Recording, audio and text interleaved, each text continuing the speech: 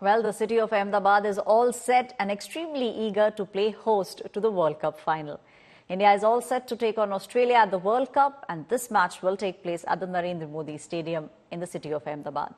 Now, the biggest cricketing event of the year will be attended by several VVIPs. There will be celebrities and politicians, including Prime Minister Narendra Modi and Union Home Minister Amit Shah. In fact, the Australian Deputy PM as well as Defence Minister will also be cheering for their team from the stands.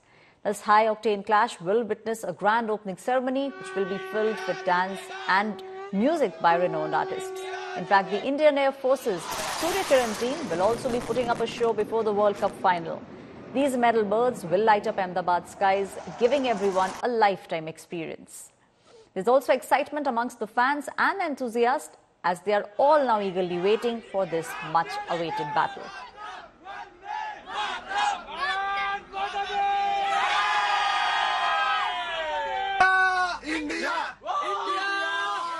Experts का analysis और दूसरा होता है fans wish कहते हैं, दुआओं में बड़ी ताकत होती है और आप इस पूरी दीवार को देखेंगे तो यहाँ पर अब लोगों के लिए जगह नहीं बच गई है कि वो अपनी बात लिख सके, लेकिन फिर भी मैं इसके बीच में अपना विश और अपना यकीन लिखूँगी।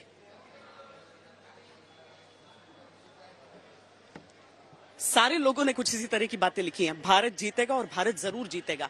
और इसके लिए देखिए, एक तरफ़ गाने बजाने की व्यवस्था है, दूसरी तरफ़ यहाँ पर वर्ल्ड कप का एक रेप्लिका रखा है जिसपे लोग आकर अपनी तस्वीरें खिंचा सकते हैं। सबको यकीन तो है कि इंडियन टीम इस वर्ल्ड कप को कल उठाएगी, लेकिन फैंस सबसे करीब इसके यहीं पर आ सकते हैं अभी। फ़िलहाल जैसे ही यहाँ पहुँचते हैं। उठा लिया वर्ल्ड कप हाँ। जी हाँ जी। तो इंडिया जीत जाएगी ना? फॉर्म है बिकॉज़ ऑफ़ अहमदाबाद भी है और इंडिया भी है गुजरात में इस बार है तो वर्ल्ड कप इंडिया ही जीतेगा match winner Shubman Gill. Shubman Gill yes इत, इतना हल्का तो नहीं होगा? लेकिन ठीक है उठाने के लिए बढ़िया है।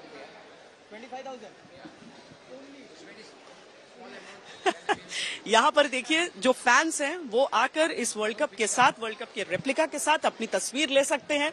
और बिल्कुल एक समारोह की तरह, एक उत्सव की तरह से वर्ल्ड कप के इस मैच को, इस फाइनल मैच को, जिसे हम फाइनल शोडाउन कह रहे हैं, उसे मनाया जा रहा है।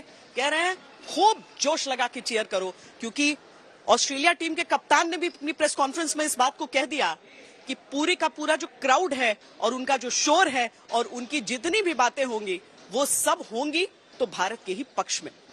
घबराहट उनको भी हो रही है और इसीलिए टीम इंडिया के फैंस पूरा जोश अपना अहमदाबाद पहुँचते ही लगा रहे हैं। जिस तरह से पूरे टूर्नामेंट में इंडिया खेली है उसमें कोई डाउट ही नहीं है कि इस बार इंडिया तीसरी बार वर्ल्ड कप लेके जाएगी।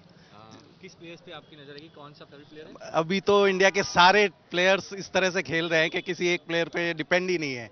तो सारे प्लेयर बट आई थिंक इस बार रोहित शर्मा को मैं सपोर्ट करूँगा कि बहुत सेंचुरी मैं विराट कोहली का इतना बड़ा फ़ैन हूँ मैं 2008 से उन्हें फॉलो करता हूँ।